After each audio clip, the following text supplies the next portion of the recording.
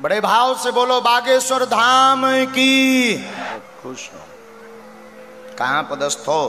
बोलो क्या बात है? दोस्तों नमस्कार प्रणाम हर हर महादेव जय श्री कृष्ण राधे राधे। तो फ्रेंड कैसे हो आप लोग? आई होप कि बहुत अच्छे होंगे स्वस्थ और मस्त होंगे। तो फ्रेंड मैं आज बात करने वाला हूँ बागेश्वर धाम बालाजी महाराज के बारे में।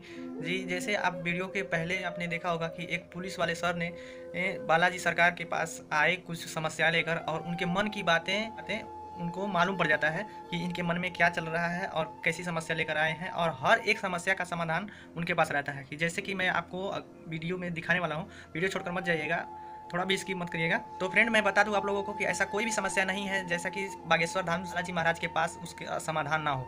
हर एक समस्या का समाधान बालाजी सरकार के पास है। तो जितने भी भक्तगण आते हैं, कोई भी समस्या लेकर, हर समस्या का समाधान बालाजी सरकार अच्छी तरह से सुलझाकर घर पर भेजते हैं। बनी हुई है। माँ की भी कई बार बुद्धि विचित्र हो जाती है। घर पर आपके उच्चाटन एक स्त्री ने करवाया है। बागेश्वर बालाजी कृपा करेंगे सामंजस्य बने रहेगा पत्नी सुधरेगी आप भी। समझ गए समझ गए? ई पे तुम कंट्रोल करो।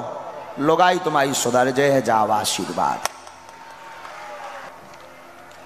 तो दोस्तों, आप लोगों ने देख ही लिया होगा कि बालाजी सरकार कैसे मन की बातें को जान लेते हैं और पुलिस वाले सर को भी उनकी मन की बातें जान गए और उनको अच्छी तरह समझ। और उनके आशीर्वाद को लीजिए, कोई भी दुख तकलीफ़ आपको है तो अपने समस्या को वहाँ पर डिस्कस कर सकते हैं। तो दोस्तों, वीडियो बंद होने से पहले एक आपसे छोटी सी रिक्वेस्ट है कि अगर आप वीडियो पर नए हो तो प्लीज़ मेरे चैनल को सब्सक्राइब करके बेल आइकन ज़रूर प्रेस कर लें ताकि हमारे वीडियो का नोटिफिकेशन सबसे पहले आप तक पहुँच। जाए इसी तरह का वीडियो मैं आप लोगों के लिए लिख के आता रहूँगा। तब तक के लिए राधे राधे जय श्री कृष्ण, हर हर महादेव।